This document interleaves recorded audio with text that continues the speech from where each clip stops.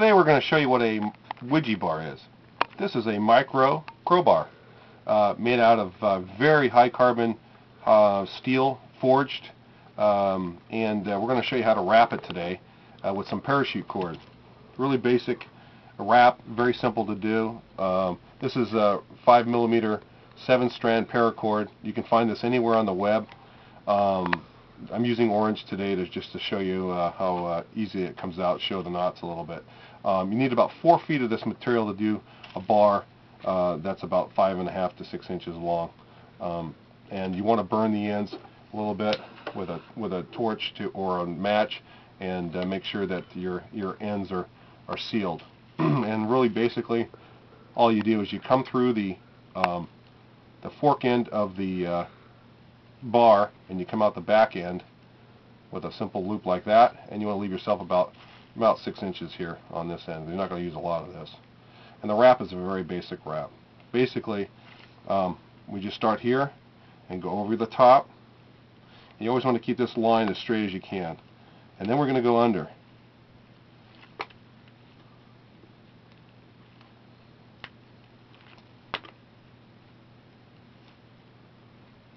and then we go back over the top, pulling it as we go along, and back under,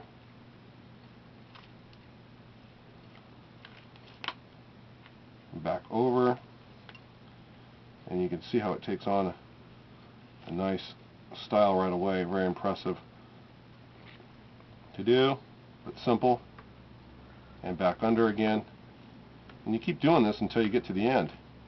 Some people like to do this with wet paracord, and this works great for um, stainless steel blades, things like that. Uh, it'll work on this also, but you have to dry it right away. Uh, we use a little hairspray at the end to keep your knots tight. Actually, it's always good to put this in a vise on the end when you're doing this. You can make it very, very tight without even soaking it.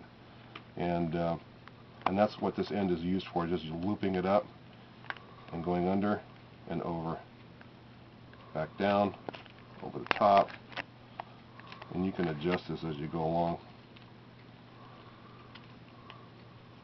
When we get toward close, close to the end, basically that's where people get a little bit hung up and it's real simple. Basically, you want one side to come out on one side and the other side of the parachute to come, cord to come out of the other side. So they're opposing each other.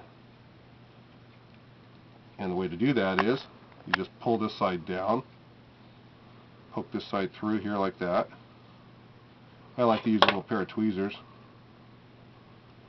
You just shove it through the hole there.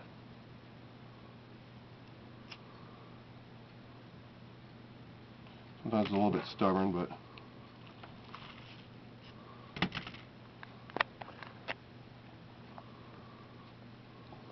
and that's how the end is finished basically you can cut it off or put a barrel knot on the end. Uh, if you cut it, just cut it on a nice flat surface with a nice sharp razor blade, like that. You can use a cord lock. Grab one here. Cord lock or cord tip is just basically, I like to seal these ends also, basically a little cord tip like this uh, that you put it in here like that